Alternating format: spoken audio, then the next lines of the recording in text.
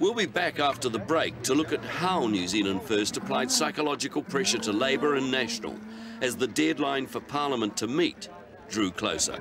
Isn't that amazing? Where's the break?